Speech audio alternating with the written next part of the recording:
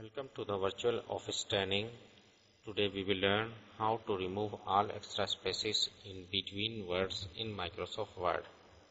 Suppose you have a document which have too many extra space and you want to remove all extra spaces between two words.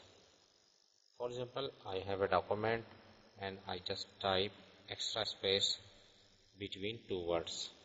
Here I just type extra space extra space.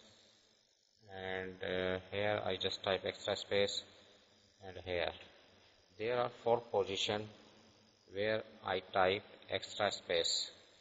And I want to remove all extra spaces between two words. How can I uh, remove all extra spaces? You can use uh, a, uh, you can use this trick to remove all extra space uh, by using replace option. You can use control H for shortcut key for replace.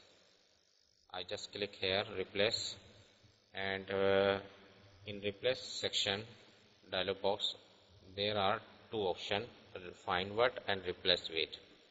Find word I just type two space and replace with one space. I just I just type one space here. In find word I just type two space. In replace with I just type one space. And click replace all.